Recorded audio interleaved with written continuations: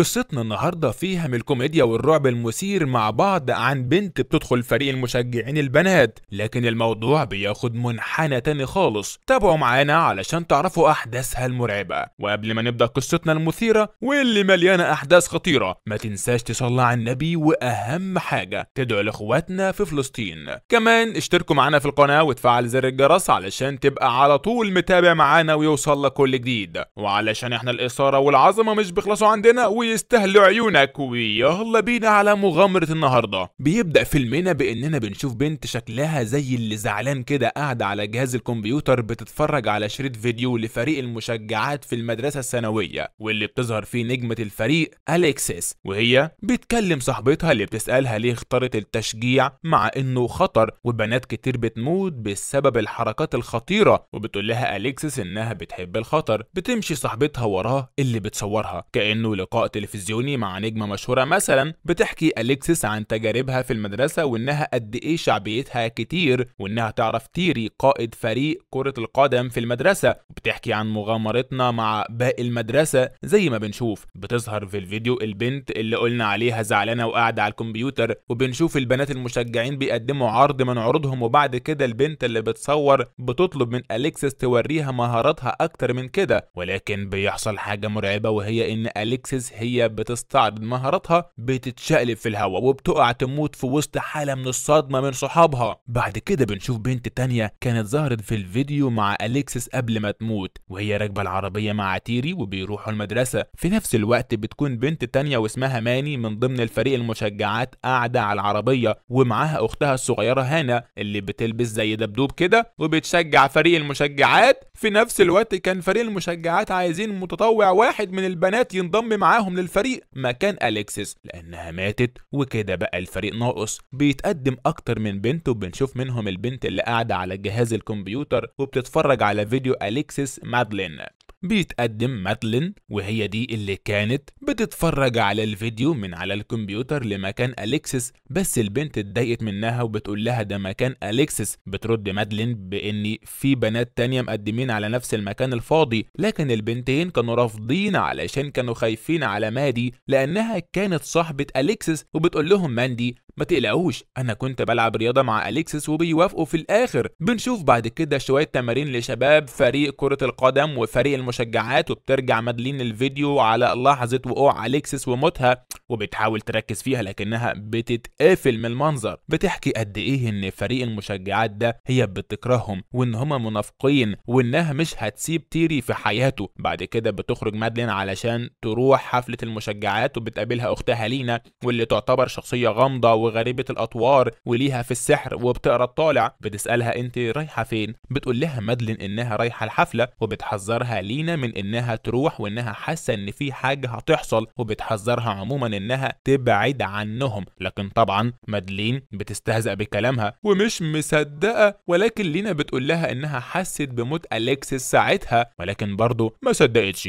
بتيجي في نفس الوقت تراسي قائدة فريق المشجعات الحالية بعربيتها وبتاخد مادلين علشان يروحوا الحفلة وبيتريق على لينا كعادتها المتنمرة. بيمشوا للحفلة ملحوظة. بعد ما بتمشي مادلين وتراسي بنشوف إن لينا بتطلع أحجار غريبة وبتفرشها على الأرض وبتستخدم علم الطاقة وحاجات غريبة كده. وهم في الحفلة قاعدين تراسي ضميرها بيأنبها إنها بقت مرتبطة بتيري وإنه مرتبط بأليكسس وإنها كده بتخون صاحبتها وهي ميتة. ولكن مادلين بتقول لها إن من حقك تعيشي والحي ابقى من الميت. بيجي تيري وباقي فريقه للحفلة ولكن بيمنعوهم بحجة إن دي تقاليد المدرسة وإن المشجعات حفلاتهم لوحدهم وبيتفهم تيري الموقف بس قبل ما يمشي بيدي تراسي سلسلة هدية وبيمشوا ومادلين كانت متضايقة من وجوده. بتخلص الحفلة وبيقعد مادلين وتراسي في العربية وبتقول لها إن تيري بيخونها. وشافته مع بنت تانية من فترة قريبة وهنا تراسي بتزعل جدا وبتبعت له رسالة إنه شخص مش كويس. بتهون مادلين عليها ولكن بيحصل بينهم قرب مش لطيف شوية. وبيشوفهم تيري من بعيد بعربيته بيتضايق. بعد كده بتوصل تراسي لبيتها وبتمشي مادلين وهنا برضه ما زال تيري ملاحقهم بعربيته بيكون متضايق من اللي شافه. أثناء ما مادلين ماشية طلعت من شنطتها بعروسة زي عرايس السحر ودي حاجة غريبة. بعد كده بيرجع تيري الجيم مع فريقه وبيحكوا إن هم عاملين حفلة والمشجعات جايين وبيلاحظوا إن تيري متغير وكان هيتخانق مع واحد منهم بسبب إنه رمى الأوزان. بعد كده بنشوف إن المشجعات راحوا الحفلة وقعدوا يضحكوا ويهزروا بنشوف البنت اللي بتلبس زي دبدوب هانا بتحاول تتعرف على البنات والشباب اللي هناك وتاخد على الجو لكن مش بتنجح قوي في ده وبتروح تقعد جنب لينا بتاعة الأحجار الغريبة وعلم الطاقة. بنشوف الأحجار قدامها وبتسألها وبترد لينا إن الأحجار دي بتمثل كل بنت قريبة ليها وبتحاول تحميهم بتسألها هنا تحميهم من إيه؟ بترد لينا من اللي جاي. على الناحية التانية كانت الحفلة شغالة وضحك وهزار وكانوا مادلين وتراسي راحوا قعدوا مع بعض بعيد وكانوا برضه في وضع مش حلو. هنا بتشوفهم لينا بعد ما سابت هانا مع الأحجار وبتتصدم في أختها بترجع على طول عند هانا والأحجار. لكن كانت في حاجة غريبة حصلت وهي إن حجر من ضمن الأحجار كان بيشع بطريقة كبيرة وهانا خافت وقلقت وجت لينا تلحق الموقف بتقول لها بعيدي وبنلاحظ نظرات القلق والخوف على وش لينا وإن ده مؤشر على حدوث حاجة خطيرة. بعدها بشوية بيجي تيري وباقي فريقه بعربيتهم اللي بيكون متضايق من وضع مادلين وتراسي اللي شافوا وفعلا شافهم جايين لوحدهم وأصدر قرار على فريقه إن هم هيبعدوا عن فريق المشجعات وهنا بيتضايق تراسي وبتطلع فيه القديم والجديد. وبتحصل بينهم مشادة انتهت بإنه ضربها ووقعها. وهنا باقي المشجعات وفريقه حاولوا يوقفوه وخدت المشجعات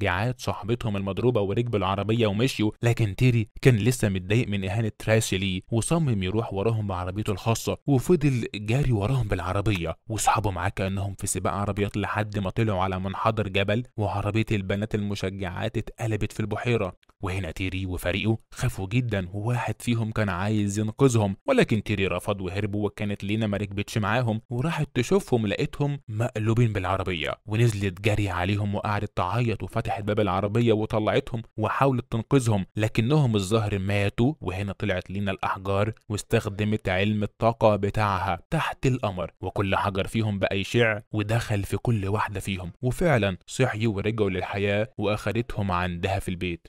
بنرجع لتيري وشلته وهم قلقانين على البنات ولكن تيري مش بيهتم وبيقول هم كده البنات مش بيعرفوا يسوقوا. على الناحية التانية بعد ما لينا أخدت البنات عندها صحيوا من النوم وهم كل واحدة فيهم مش عارفة حصل إيه ومتعصبين وخايفين وحالتهم حالة.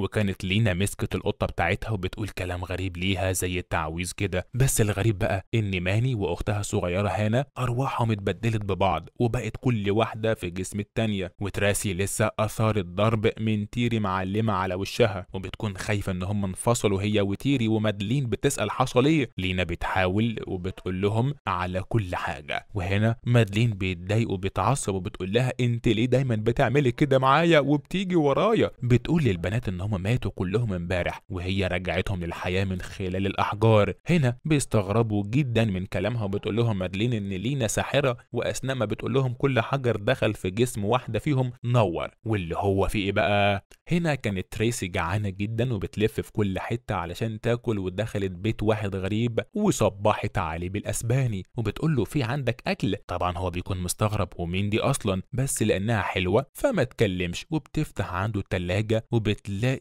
أصلا لبن وبتشربه كله من كتر الجوع بتاعها. وفجأة زي ما يكون تريسي اتحولت لأكلة لحوم بشر وعضته وعايزة تاكله. وجم وراها باقي البنات وكانوا بيدوروا عليها وهجموا على الراجل الغلبان وأكلوه. ومصوا جسمه. بتسألهم لينا حاسين إنكم كويسين دلوقتي وأقوياء وشبعتوا ردوا أيوة. وهنا فرحت قوي لينا علشان سحر الويكا بتاعها نجح. بس ده ما كانش هامم الأختين ماني وهانا طبعا غير إن هما يرجعوا لأجسامهم وبيقرروا إن هما بعد كده يروحوا المدرسة. وهناك كان تيري وفريقه مشغولين بالوارد الجديد من الطلبة البنات وبيتعرفوا عليهم وكان في واحد منهم اسمه فيك. رايح عايز المديرة في كلمتين وشكله كان متوتر جدا. فجأة بيدخلوا البنات في وسط دهشة تيري وشلته وشكلهم جميل جدا وإن هم إزاي لسه عايشين. لا وكمان لينا بقت قائدتهم. وكان الكل بيبص فيهم حتى فيك صاحب تيري ساب المديرة وركز معاهم. أثناء وهم في الحصة مادلين بتلاحظ إن في آثار دم على ايديها وخبتها بسرعة في حين إن هانا مستمتعة بنظرات الكل ليها وده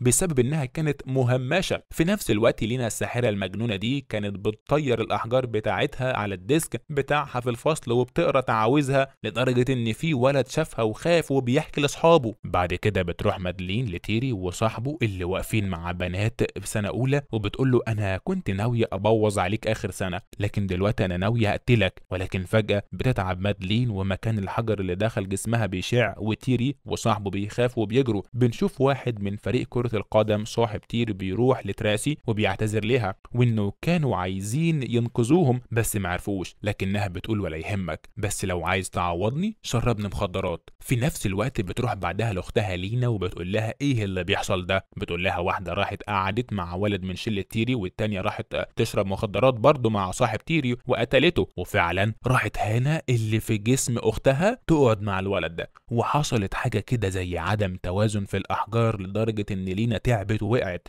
وراحت تراسي تقعد في العربية مع الولد التاني وقعدوا يشربوا وسكروا. لكن فجأة كده بتقول له هوريك حاجة. ووريته الجرح اللي اتسبب فيه تيري ومرة واحدة طلع منه الحجر دخل في راس الولد ومات.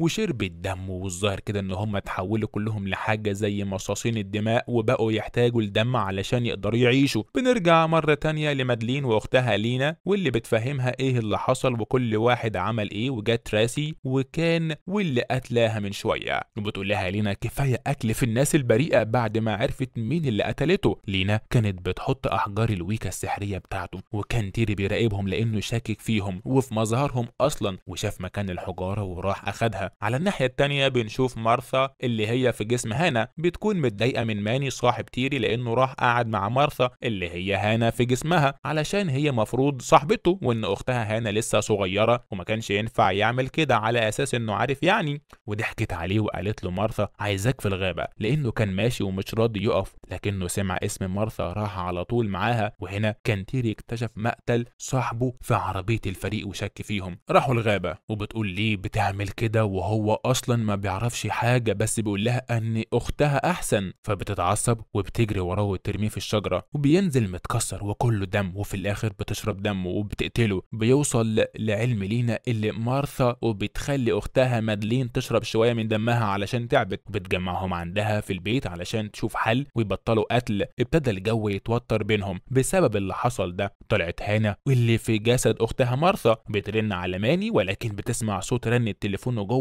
بتدخل تلاقيه مع أختها بتعرف إنها قتلته حصلت خناقة بينهم وكانت عايزة تمشي. بتقول لها لينا ما ينفعش تمشي دلوقتي أنت ضعيفة ومحتاجة دم بس طبعا مش بتسمع كلامها. في اللحظة دي تراسي اكتشفت يوميات مادلين المصورة واللي بتقول فيها إنها بتكره تراسي وفريق المشجعات وإن هما مغرورين. وتشوف برضه يوميات مصورها ليها وهي قاعدة مع تيري. هنا بتقوم وبتواجهها بس برضه بيحصل خناق بينهم وبتزق تراسي مادلين على الدولاب وبتاخد عربية مركونة بره وبتمشي.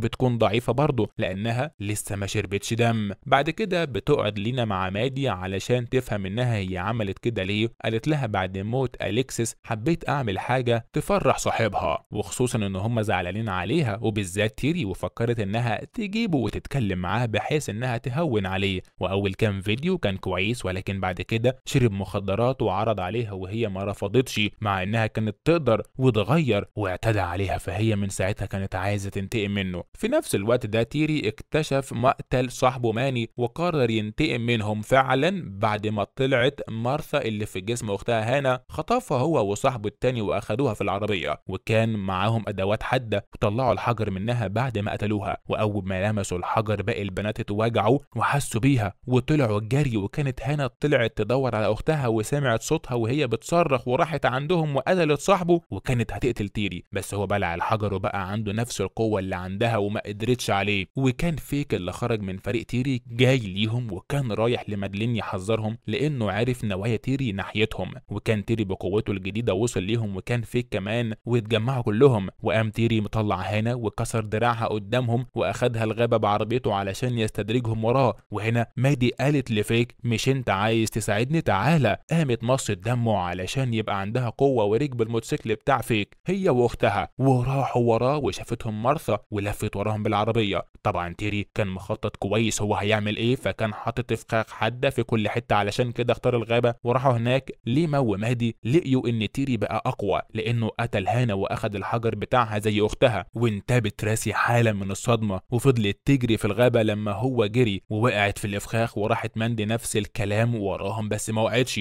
هنا تيري كان هدفه ليما قام مسكها وضربها وزنقها في الشجرة جنب المقابر طلب منها تعرفه إزاي يستخدم الأحجار اللي معاه وطبعا رفضت. على الناحية التانية كانت تريسي ماتت في الإفخاخ الحادة ومادي بتعيط جنبها وزعل عليها وبيتوجع ليما في مكان الحجر عندها هي كمان. وبيقول لها تيري صاحبتك ماتت. وجريت منه علشان ما تقولوش على سر الأحجار. لكنه ضربها بالسكينة وقال لها طالما مش هتقولي هطلع الحجر منك علشان تقولي وأخليه معايا. والحجر كان في رقبتها يعني هتموت. لكن ظهرت مادي وجت حاولت تمنعه من قتل أختها ولكن برضه ما قدرتش عليه وهنا ليما بتستخدم سحرها؟ وبتخلي الأحجار تطلع من كل حد دخلت فيه. ومات تيري بسبب إن هم خرجوا من بطنه وهي كانت هتموت وأختها ليما ولكن خلت الأحجار ترجع لهم تاني علشان يعيشوا. وفي حجر منهم وقع على قبر اليكسس وطلعت لهم جثتها بعد ما رجعت للحياة تاني. وانتظروا الجزء التاني من فيلمنا. لحد هنا بيخلص الفيلم بتاعنا. ما تنساش follow و like و share وتقول لنا رأيك في التعليقات وتحب تشوف أفلام إيه جديدة معانا. وتفعل زر الجرس وتشترك في القناة لو بتابعنا على اليوتيوب وهتلاقي link page تحت في ال description. يلا سلام.